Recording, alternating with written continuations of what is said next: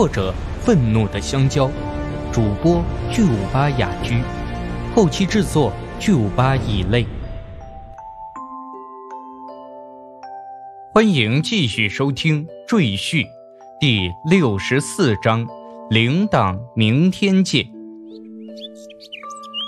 叮当叮当的声音，清晨时分，婵儿、娟儿往桌上摆好碗筷，盛了粥饭。随后，在谭二的吩咐下，也在旁边坐下。清晨的光芒里，一家五口坐在桌边吃早餐的情景。昨晚苏谭二与娟儿、杏儿也回来的比较晚。婵儿哭过之后，与宁毅坐在凉亭里聊了一会儿心事，抹着眼泪絮絮叨叨。小丫头比较可怜。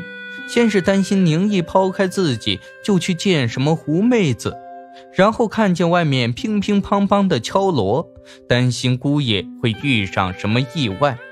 后来又担心起来，姑爷如果去见什么狐妹子，没带上自己，身上没钱。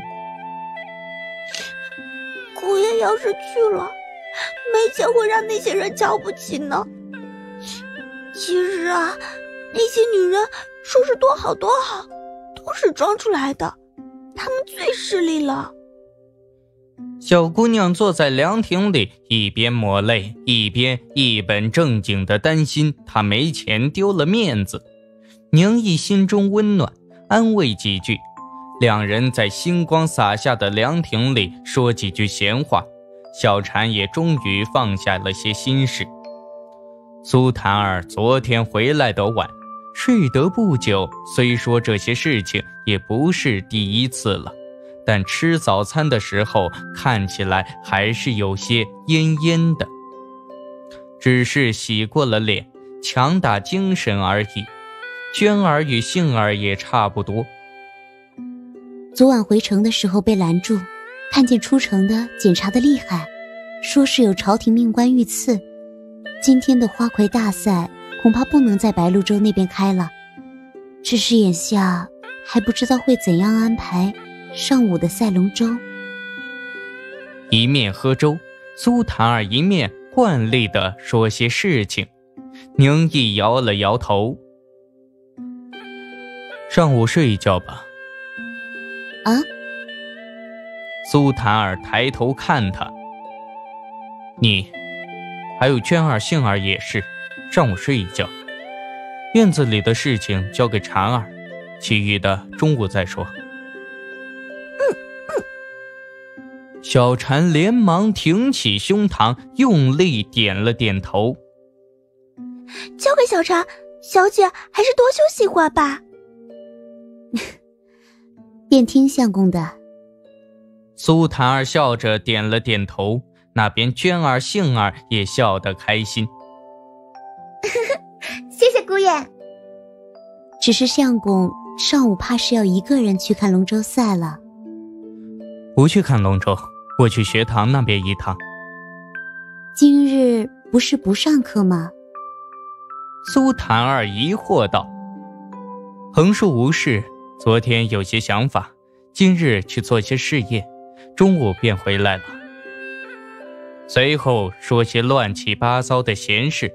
苏檀儿问问昨天的比赛，问问他未回之前城里发生的事情。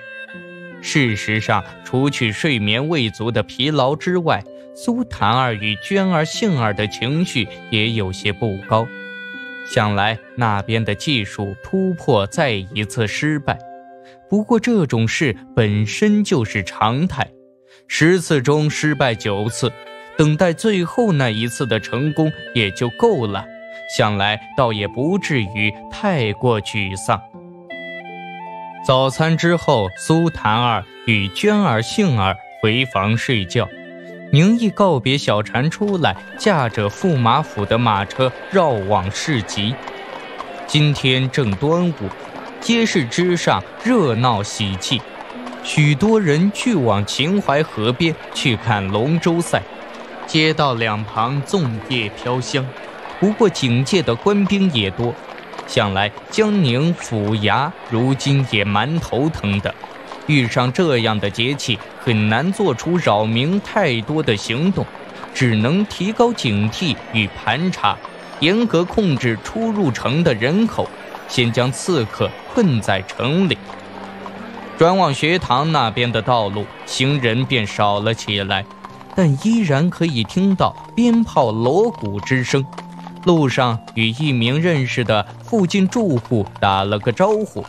马车抵达租下的院门之后，宁毅从车上拿起一只包袱下来，一路进去院子房间，推开里间的房门之后，才发现已然无人。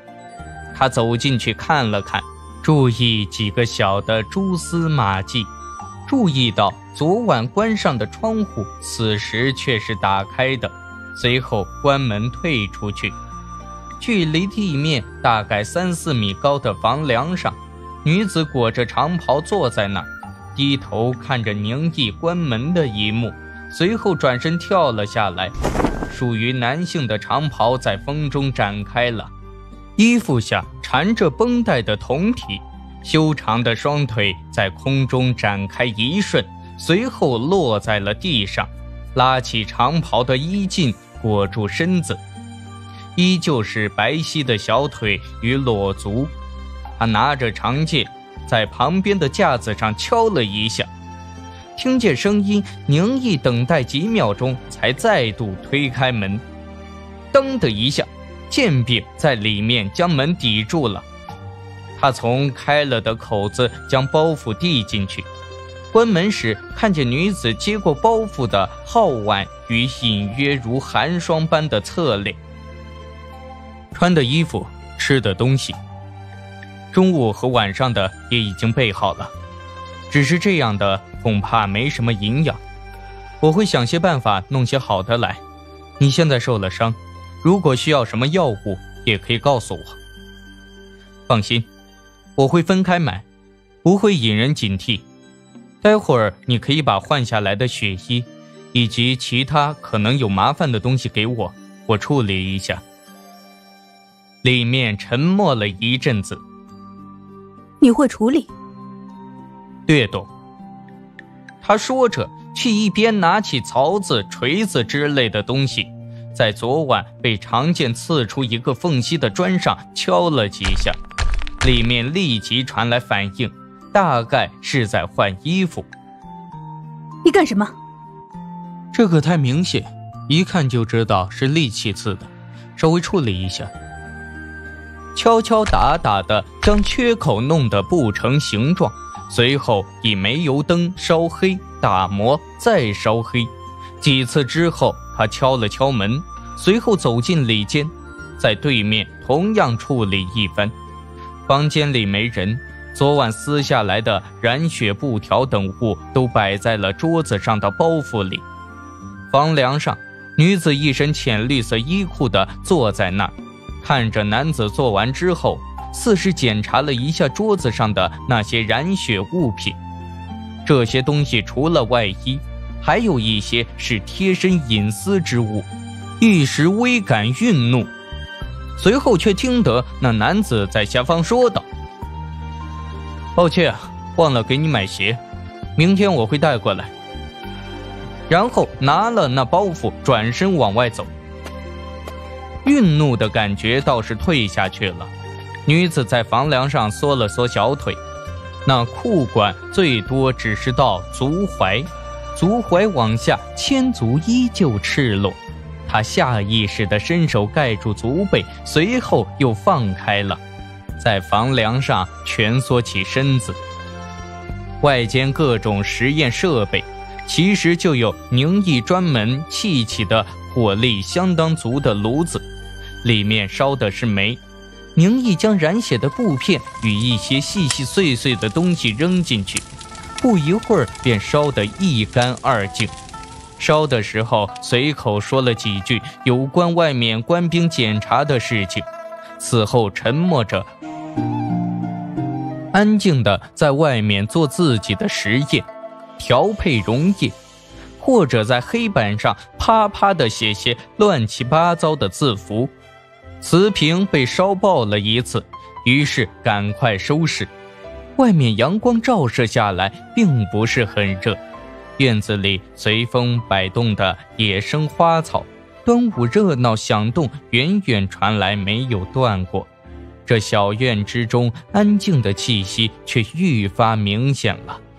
陆红提抱着他的剑坐在床上，拿着宁毅送过来的肉包子在吃，偶尔会透过那稍微弄大了一些的空隙，微微疑惑地望着这边古怪石业。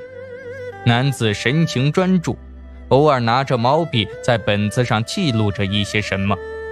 过了一段时间，又有人推开了院门，细细碎碎的脚步，倒不是什么大人。他收拾东西，再度跃上横梁，屏息凝听。那边传来小姑娘的声音：“姑爷，我过来了。”是个小丫鬟，很开心的样子。当心那边，可能有碎瓷片，桌上的水最好也别碰。嗯嗯，知道了。怎么这么快就来了？嗯，星儿姐已经醒来了，就让我出来找姑爷。啊，对了对了，姑爷，我在路上买了两个铃铛，你看，我把它挂在外面好不好？去挂吧。嗯。叮铃的声音清脆悦耳，偶尔传来小丫头似乎是搬着椅子出去了。在门外的屋檐下挂铃铛。哎，姑爷，我过来的时候看见街上好多兵，大家都在讨论昨天的刺客呢，说他好厉害，你有没有听说啊？听说了呀。嗯，姑爷听见怎么说的？听说是个女刺客，那不是跟原先那个女贼一样？确实听说是女刺客。过来的时候，还听见有人说昨晚亲眼目睹了呢，绘声绘色的。说那女刺客身手高强，身高八尺，腰围也是八尺，手拿一把金丝大环刀，一路从朱雀街杀到长夜街，天地变色，日月无光。都尉宋宪呢，使的是一套佛门武学，叫做如来神掌，本来以真化境。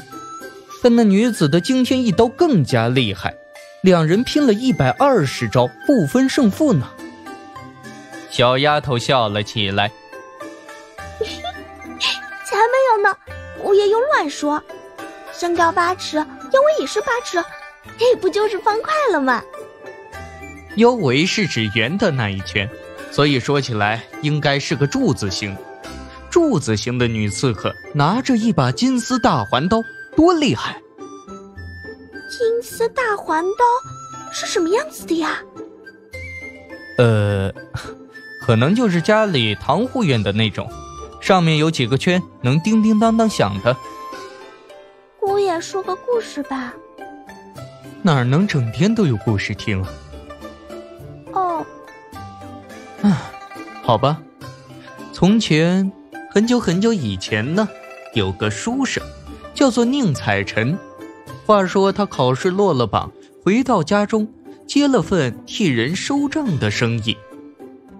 一缕缕的光芒从瓦屋的屋顶上射进来，女子抱着她的剑，靠在房梁上坐着，看着这些光，听外面传来的声音。